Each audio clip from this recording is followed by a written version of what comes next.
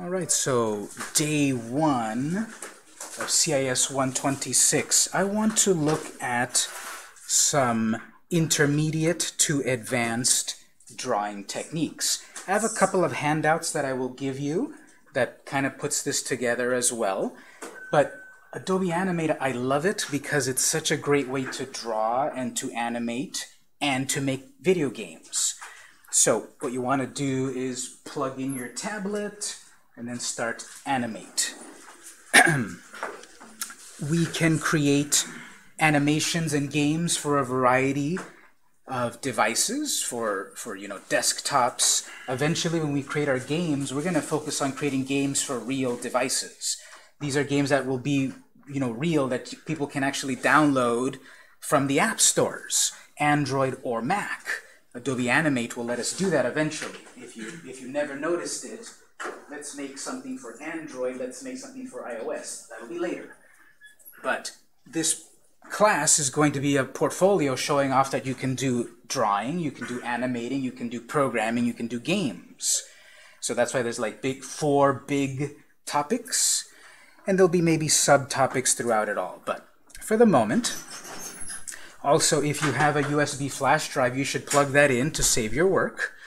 Um, don't assume that whatever you save into the network folder or whatever will still be there. It's a public thing, right? so you may lose it. And so um, you can plug that in. And then, of course, at any point, if you're having any trouble, raise your hand. I'll help you out. Of course, you can help each other out. But I do ask that you do it at a reasonable volume so you don't distract your neighbor or me. And what we'll do here is let's go up to the File menu, New. File, New.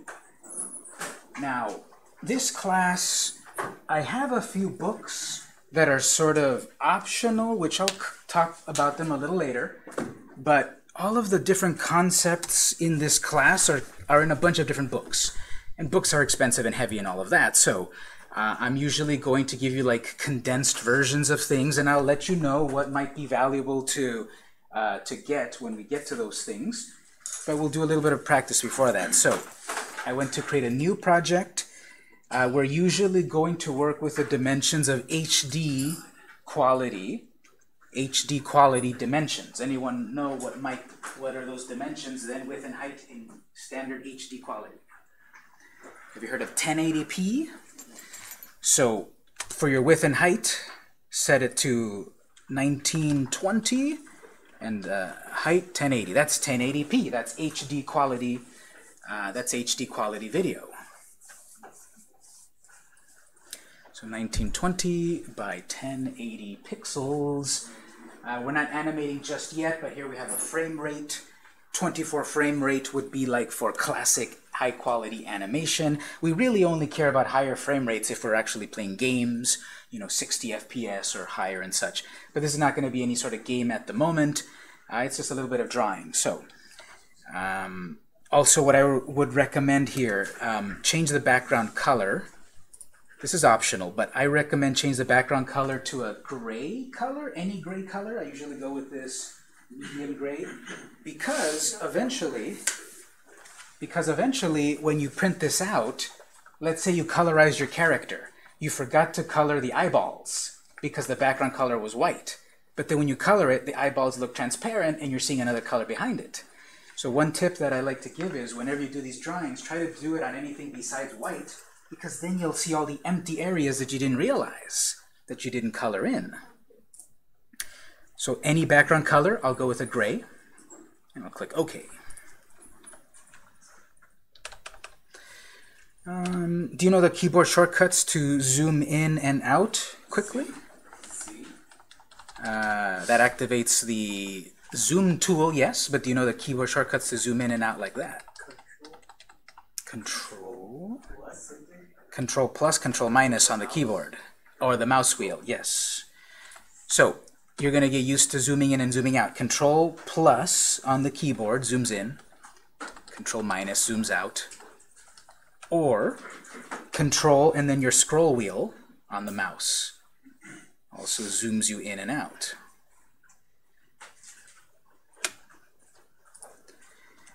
I would say for the moment, however, go up to the zoom menu item at the top right over here and select fit in window. So it'll zoom it to whatever you need it to be that your whole sheet of paper shows up. This is an untitled document we want to save as, file save as. We're going to save this to our flash drive. Is going to be a little bit of practice. And I've got my flash drive plugged in. If you don't have your flash drive, save it to the desktop or I guess the network folder, but again, I wouldn't rely on that.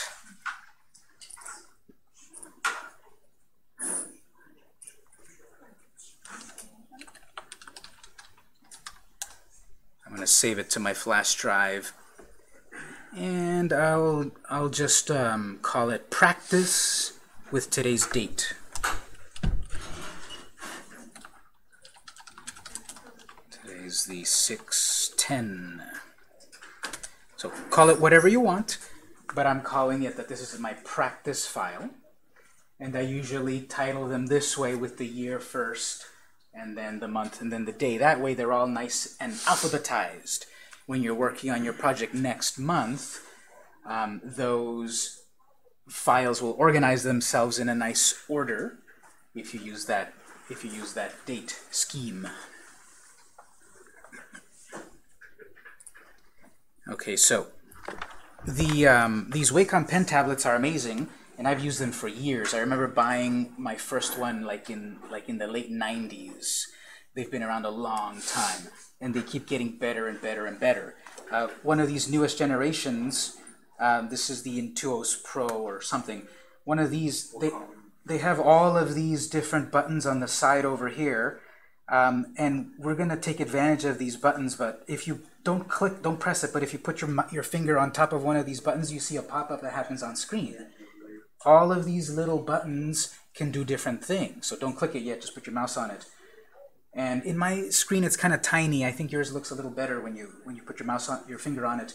But you have all of these different buttons. For example, the very first button, if you tap on that, I activated touch mode, which now lets makes the whole thing into a touchpad.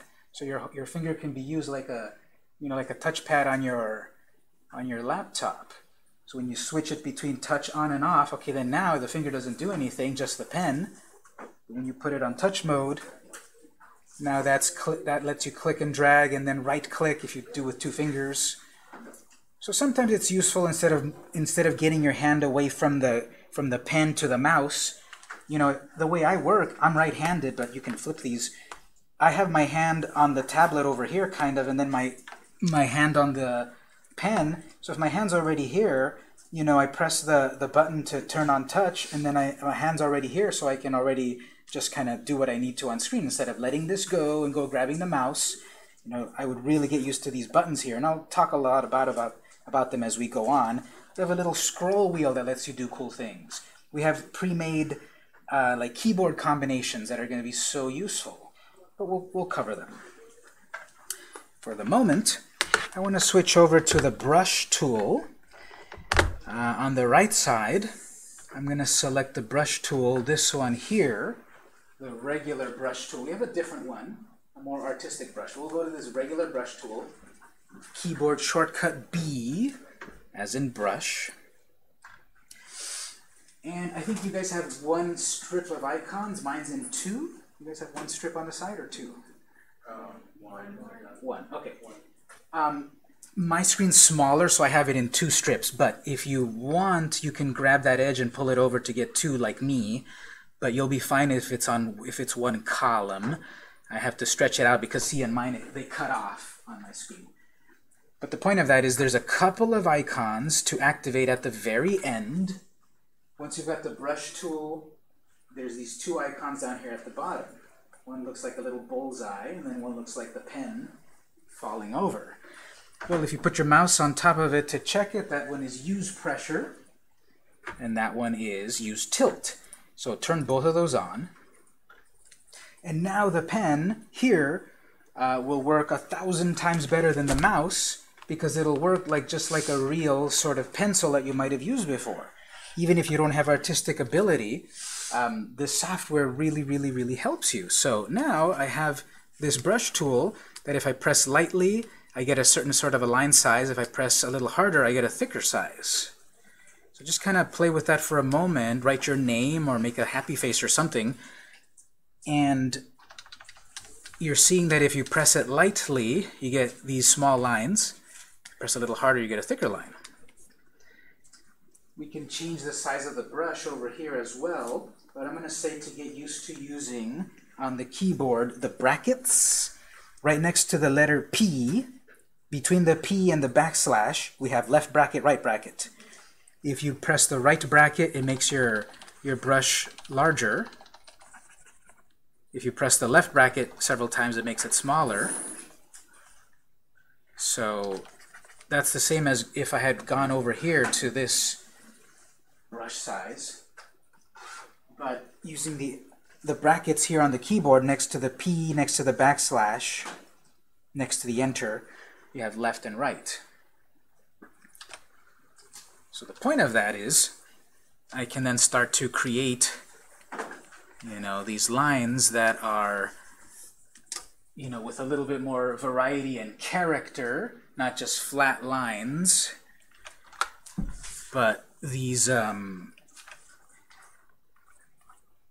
these drawings will have like more life when, you know, your brushstrokes are varied. There is a style, of course, of simple, flat lines, sure. But in the various theories of animation, and I have all of these books that talk about a lot of animation. I'll actually check these books out to you if you want. Um, they talk about the, uh, the appeal of a character. One of the bits of the appeal is like simply like their lines. Instead of flat, simple lines, sometimes a character is more appealing with a variety of lines. And when you have a pressure-sensitive pen like this, it gives you something more detailed. Just play with that for a moment. Just draw something. Or your name if you're not too artistic. And again, you're not going to be graded on, uh, you know, artistic ability. You're going to be graded on the ability to do things and using the tools and so forth. So use that a little bit. Um, just a show of hands, how many of you had never used this these Wacom tablets before? Okay, so just try it out just a little bit. Um, just play with it for a moment. I'll show a few more techniques and such. Obviously, if you're having any trouble at any point, raise your hand. Just play with that just a little bit.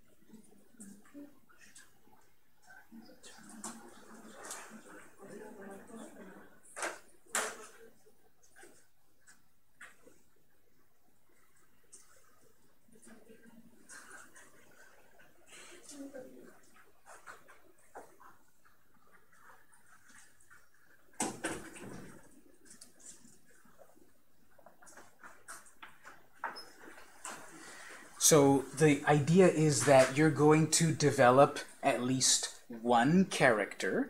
I would say at most. You don't have to get too complex in the short amount of time that we have. With one character, you're going to submit three model sheets, and again, we'll come back to the details of that soon enough. And then eventually you're going to make an animation, an animated movie of at least 30 seconds long. We're going to go to all the details of learning about parallax scrolling and all that cool stuff.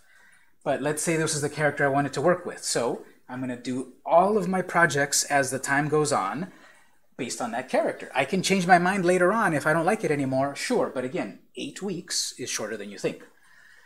And so eventually I'm going to make a couple of video games based on that character.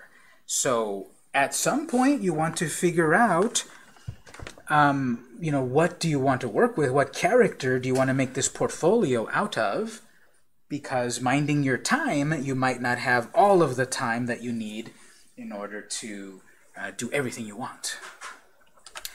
So I've got something that I've drawn here. Let's do this. Um, we've got these layers. So layers obviously are like sheets of paper. I'm drawing on a certain sheet of paper.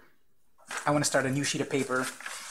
So down on the layers here, let's click the little uh, lock icon, this little um, dot here to lock it. I don't want to work on that layer anymore. And then I want to click the button to make a new layer. So I've got a brand new layer, layer 2.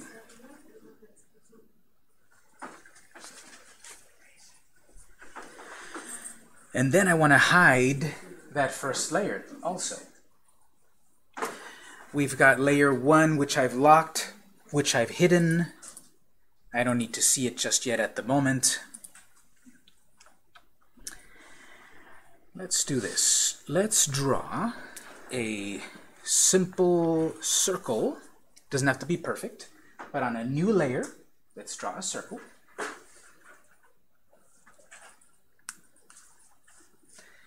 I'm going to fill it in with a basic color. So we'll switch over to the Paint Bucket tool, keyboard shortcut K for Paint Bucket. And you want to pick any color besides your outline color. So a circle with a color inside. So try that.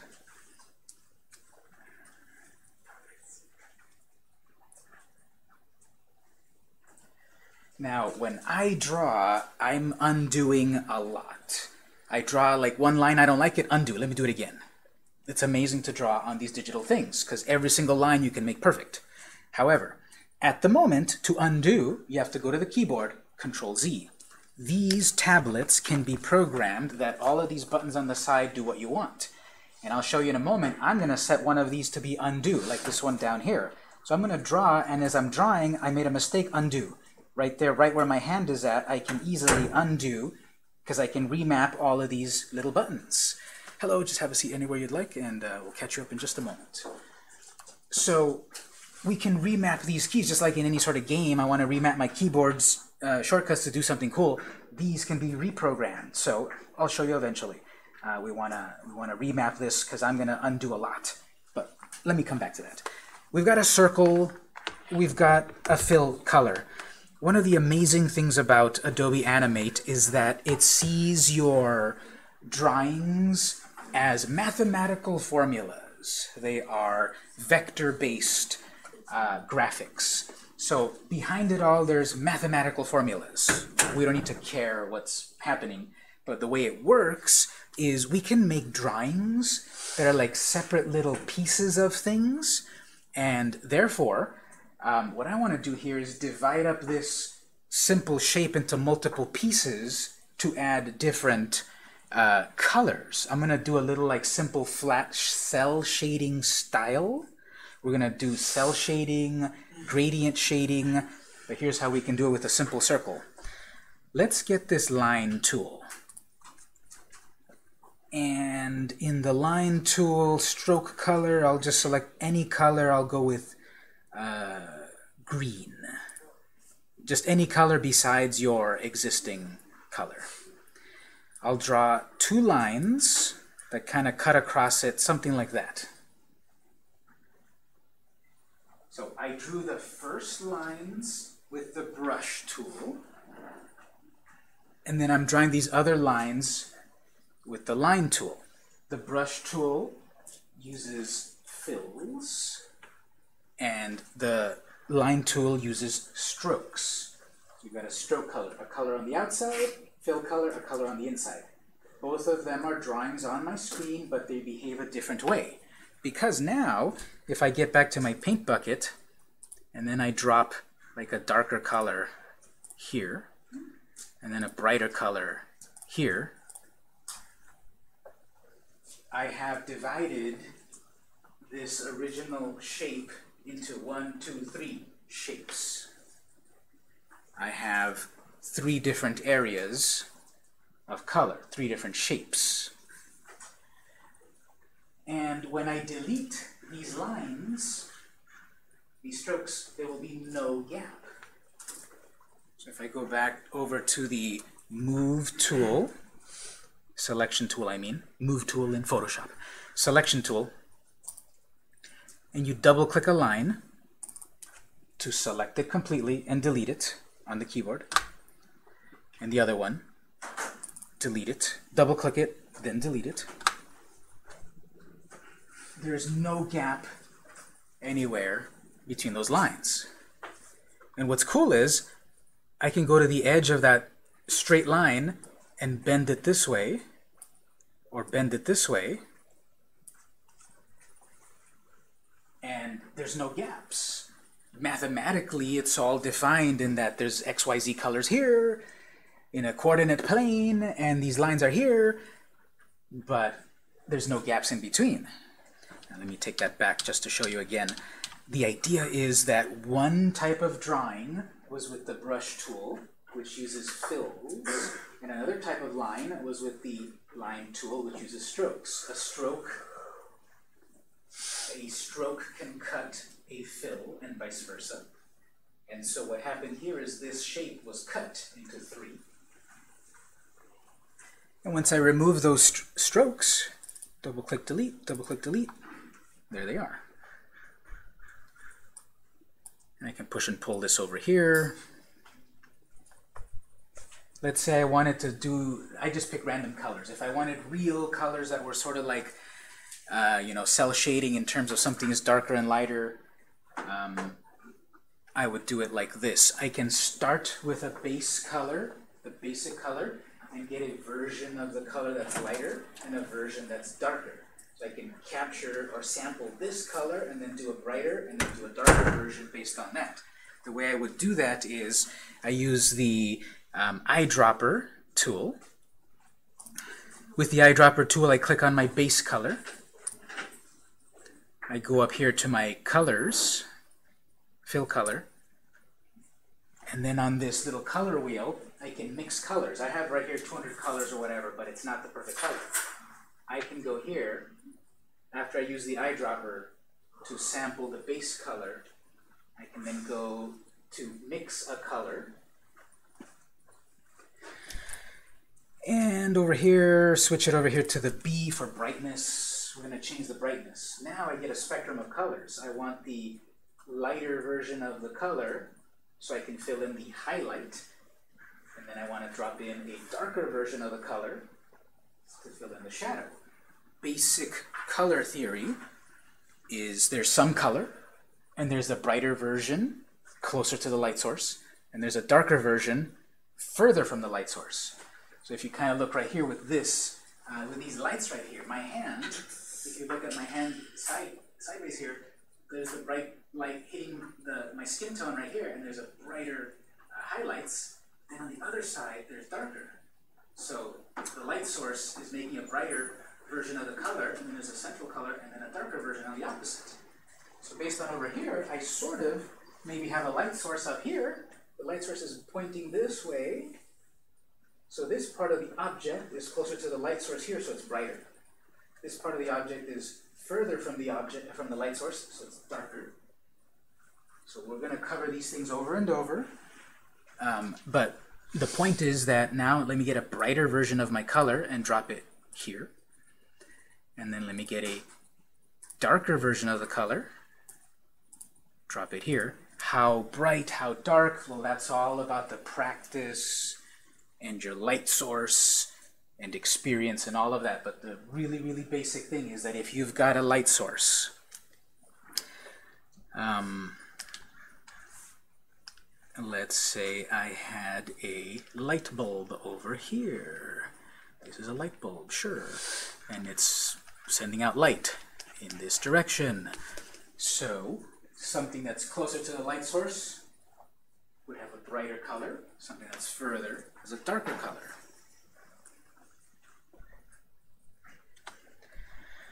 You can get fancy, of course, with gradients and all of that, which we'll cover later. Let's say I want to do it even brighter over here. So this is going to be very useful. When you're mixing a color, we have B for brightness, and that lets you add dark tones to it. And it might be enough that you also get bright tones. Or if you need to find like the brighter tones that are not bright enough, so let me just go back to show that again.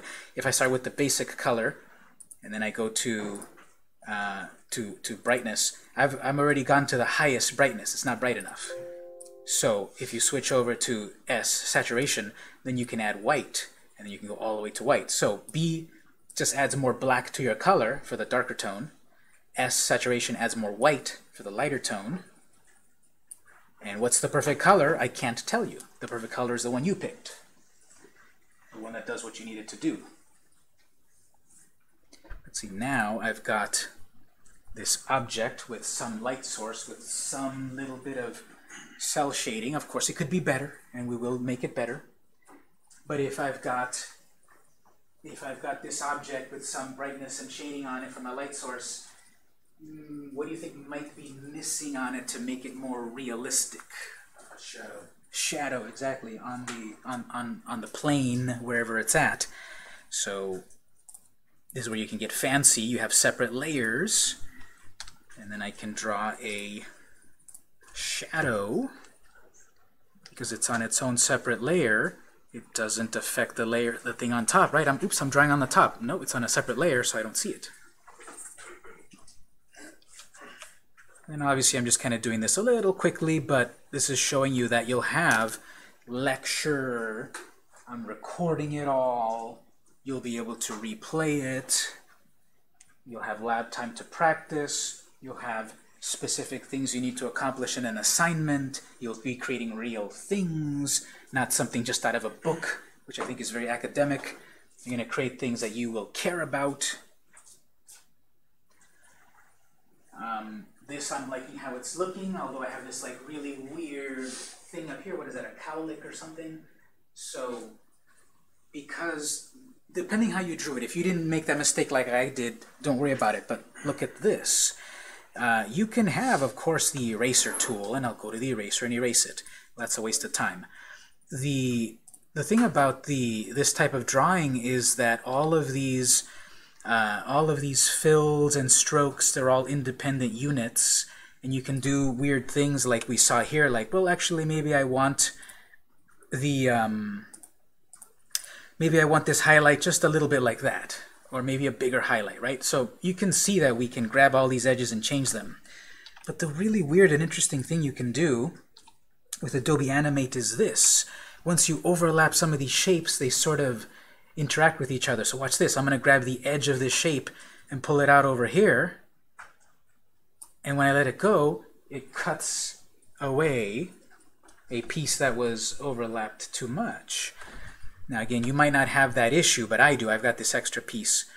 And so if you overlap something like that, it cuts it out. Look at that. I'm, I'm kind of erasing it without the eraser. I didn't use the eraser. I overlapped one thing on top of another thing to, to cut that out. Now, the eraser will work just fine. But I've used this so many times, like if I'm drawing a real character, we'll have practice with this. I'm drawing a real character right here, and I make something go too far like that. Well, I could use the eraser tool. But if I grab this corner and overlap it with that corner, it cuts it. I can drag this corner, overlap it with that corner, and cut it. Select that, delete it. Again, I'll show this a little slower in a moment. But this is a technique here to, to refine what you drew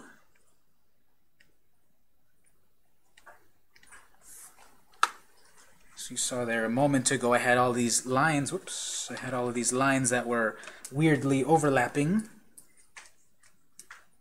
And then I did these special tricks. I'll come back to that. But I've got here like a basic ball shape. Let me pause there. Maybe practice with that. Draw another one. Make another layer. Draw another another ball or square or something. Try to do the same thing we just did right there. Draw something with a color. Use the lines to divide it up and fill it with different colors. What if I make a brand new layer? And then with the brush tool, you know, what if I try to get more complex with a face?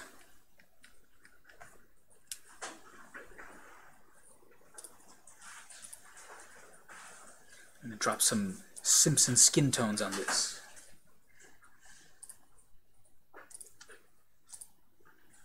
This is one example also why I'm saying try to draw with a gray background instead of a white background, because then I never filled in those colors.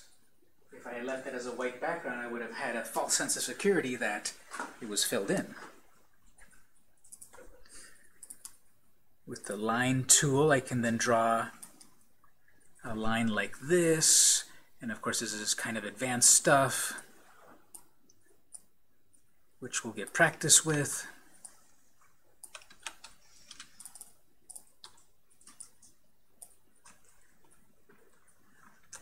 This is when the zooming in and out really helps.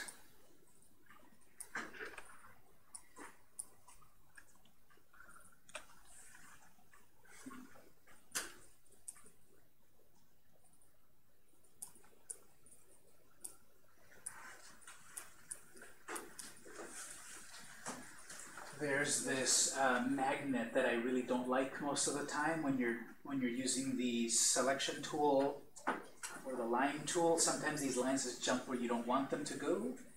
So I usually turn off that magnet. And the point of these lines is for me to define these areas where I can do this sort of flat uh, cel shading.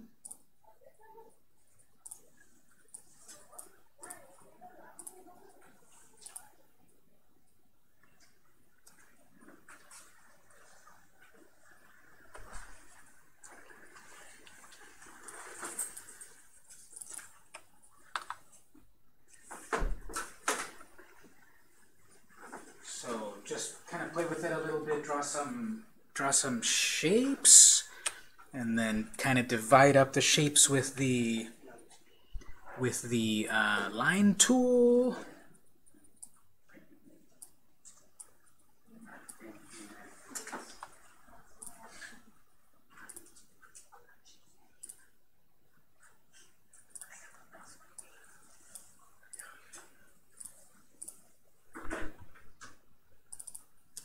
So all of these particular lines that I drew, you know, I'm drawing all over the place to divide up the shapes to fill them in, but they don't affect the original drawing.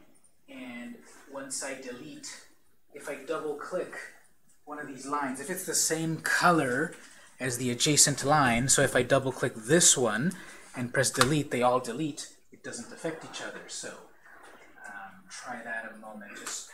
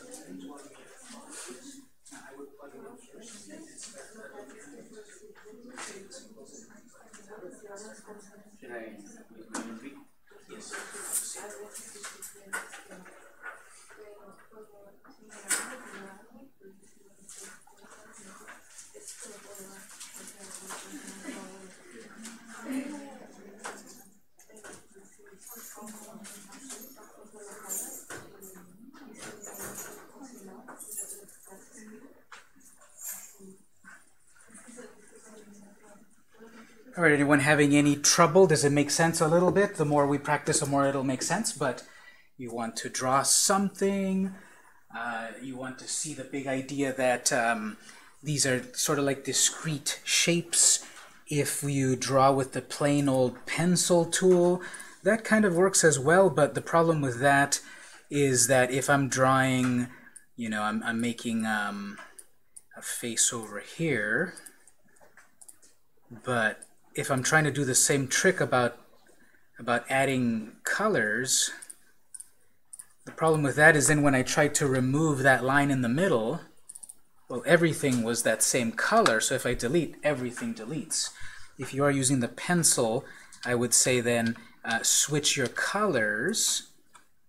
You know, if I fill in these colors here, um, then I'm going to switch my pencil to a different color if these colors are the same color, when you try to delete it, it'll see it as the same color and then it will it will then not delete it. So the big idea is to have different color lines and then when they overlap with each other and such they they cut each other out.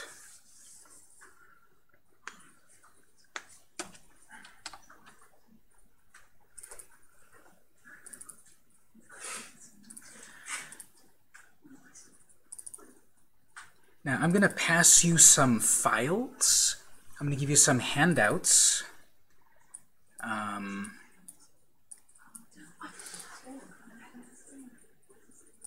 I'm going to give you some handouts that I think are going to be very useful.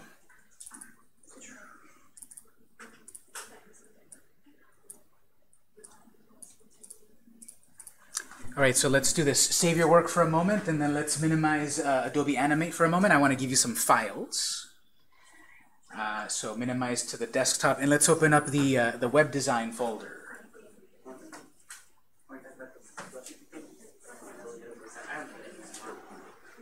So let's go to the web design folder, and we have a new folder in here, CIS 126. And inside of CIS 126, uh, copy this folder to your desktop or flash drive, better yet your flash drive. I'm going to put these items in the uh, in, in Canvas, of course, but for the moment, uh, copy them over to your desktop. A copy of the syllabus is also there, but it's also on Canvas. Just copy that over to your desktop, then we'll look at what's in there. And if you've got a flash drive, you want those files there. But copy that. It's topic one, digital drawing, zero handouts. We're going to have, again, four big topics. Topic one is about drawing. Topic two is animating. Topic three is game number one. And topic four is game number two. So I'll have various handouts and so forth. Uh, let's look at that first hand, uh, that first folder, topic one, handouts. I mention a few books. I got these books, I got these handouts as scans for some of these books. If you want uh, the books yourselves, you can get the full details about them. And I have some of them in, in real life right here. Uh, if you do want to look through them, th these are also going to be like, you know, you, you, I can check them out to you during the class time if you turn in something to check them out with before we do that. Uh, I have all of these different ones, and they're kind of numbered in a certain order. There's this one here first about the 12 techniques. This is, this is uh, the classic 12 techniques of animation there's this theory that to make like really good animation, there's these 12 concepts that you need to kind of understand in order to make you know these drawings into something realistic. The classic Disney animation follows this. A lot of Western animation follows this. Um, anime and such also follows some of them, and you're of course um, you know the more you learn about this, the, the better you'll you'll get at all of this. But I'm not going to go through the whole pages, but this is coming out from this book over here, I think. Yeah. So if you want to see it in actual physical copy at some point, you can check out the book. Uh, but okay, there's a little bit of theory, and then it goes, what are the principles? The more of these that you know and understand and can apply, the better your animations will be. So something about squash and stretch, arcs, timing, exaggeration. So each one kind of gives you an example. Here's a bouncing ball. And so this all happens like at, you know, 24 frames per second. All of this happens very quickly. But these like little details uh, makes make this drawing like more realistic. Even though it's getting exaggerated here, this shows that this hit the ground and then it kept bouncing. So you can check all of these out on your own, and the book goes on to more detail over here about what these all mean. So again, you can check these out during class. The next handout over here from this other book, uh, How to Draw Manga. So this is showing uh, using kind of what we talked about here. Uh, ladies, do you have a question here?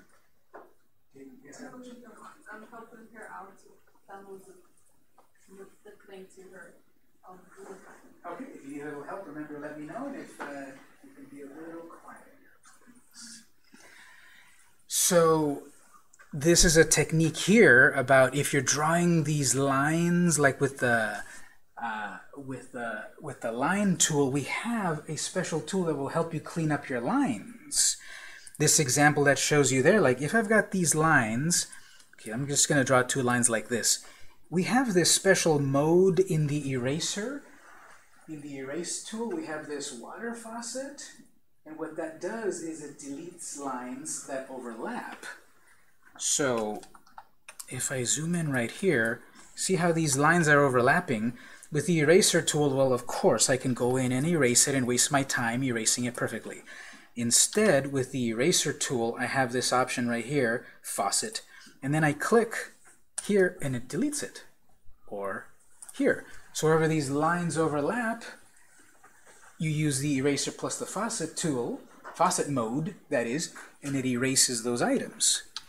So the example in the book is, is saying like, what if I what if I use the the pencil tool, you know, I'm trying to draw eyes, uh, you know, something like that, and there's these parts over here that I want to get rid of. So, you know, I'm trying to draw an eyeball here, and I've got all these lines that are not quite overlapping properly with the eraser tool set to faucet. Wherever you click where there's an overlap you can easily delete those lines. Right there and right there right there. Now this works with the line tool. Anything that makes strokes. So the line tool not the brush tool the brush tool behaves a little differently but that handout there that I'm showing you, you saw how I kind of had it like a little bit loose. And then now I'm going in and erasing some of these overlapped, overlapping lines like that. Now the eyebrow is perfect. Maybe I want to take out that. So eraser plus faucet.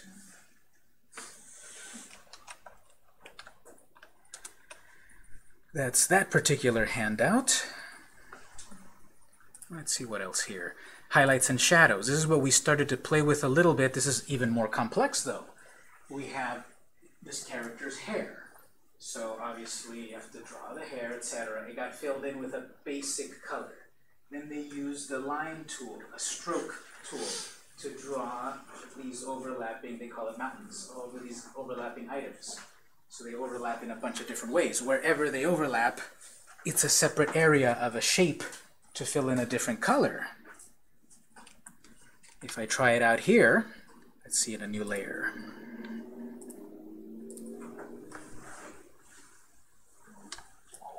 I'm going to maybe just draw something really basic.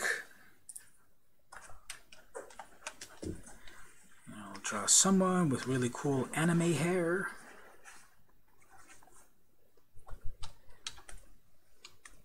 So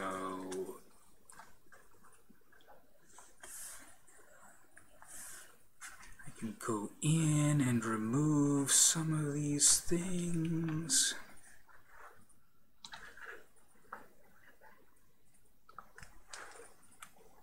So if I fill in a basic color, the handout there is talking about you fill in a basic color and then you can divide up your your your shapes. So using the line tool with some color besides your basic color and I can go in here and draw some areas that might be the highlights or the shadows. So I've got this basic area of color. I've divided it up with the, with the stroke tool. I've got these fills plus the stroke. The stroke is dividing up these shapes. Now I've got an area there where I can fill in the dark color. So the same technique with the circle. I sample the basic color, I go to my color mixer over here and get a darker version. You know, the darker, the more dramatic.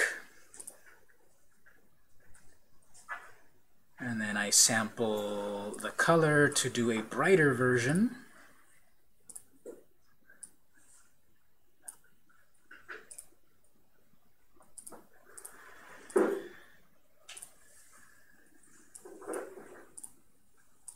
So I'll put the highlights over here. And then all of these lines are still separate units. I can delete them all, double-clicking and delete them.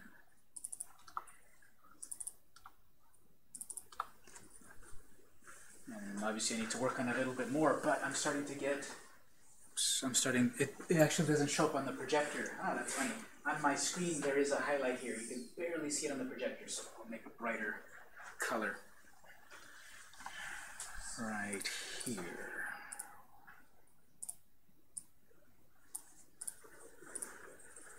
Is that visible? Yeah, it's visible right there. So that handout that I'm looking at at the moment is talking about dividing up these shapes uh, to fill it in with colors, and I get a cel shading sort of style. And it walks you through there. After you remove those those lines, you start to get this the same concept of there's going to be an area with the darker version of the color. There's an area with the lighter version of the color. When it all comes together, then you have this classic cel shading style, dark areas. Okay, so on the four directions of the compass, where would you say the light source is coming from?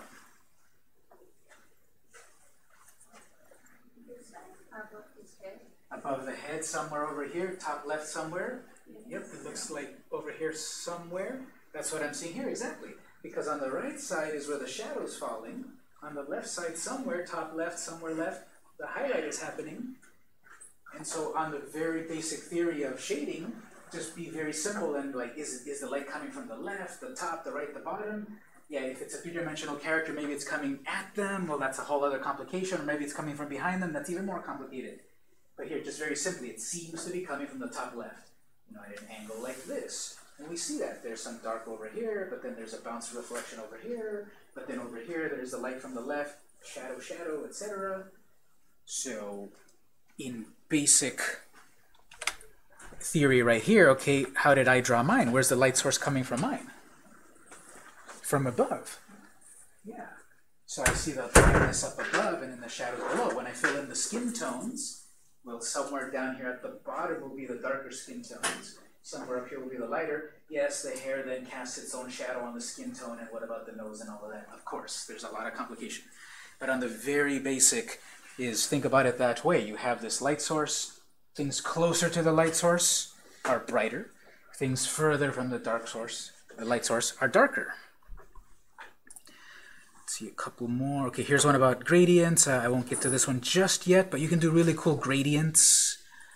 You know, you can make these highlights that happen here, blending these colors really well with gradients. I'll come back to that a little later. I like this handout also because, you know, it just really shows you, uh, you have all of these shapes of basic color. When you then separate them you then are able to add flat color or gradient color. And then there, that the uh, her her her face at the very beginning looks very flat, but then as as you see the line over here, dividing it halfway here and then filling it in with two gradients, you get this depth of like the cheeks and then the hair falling on the face and all of that, and you end up with that.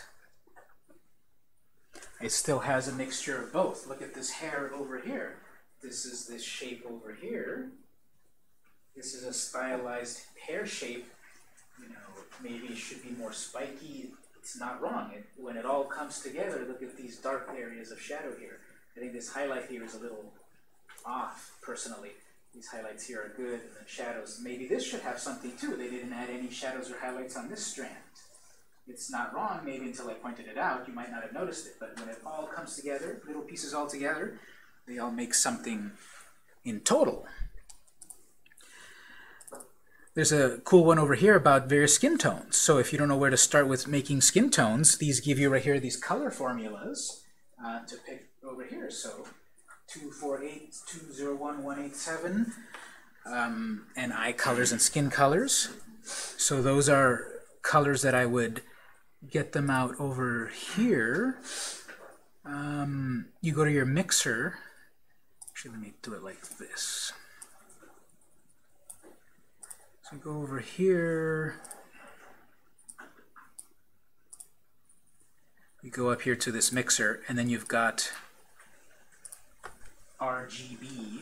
This is where you would plug in these, these numbers here, RGB. So 180, 105, 51 for a skin tone. You can lighten it and darken it from here, but I like this handout as a way to get started with skin tones if you want to deal with uh, humanoid characters. Obviously, you're, you're not limited in the class to, to deal with human characters. We saw on the printouts on the back, we've got a panda over there, and like a cat and a duck and then like a wolf warrior and a little robot, a little round robot drone thing. So you are able to create any kind of characters for the class. And these other ones, you can look at these on your own a little bit later. Let's let's take our first break. We've been here a little while. Um, so if you've got something that you're playing with like that, remember to save it if you want to keep it. You're not going to turn this in. There's going to be something else to turn in. After the break, we'll talk about that, but it's too um, 2.30, we'll take a break until 2.40, just a quick 10 minute break, and we'll come back to do a little bit more.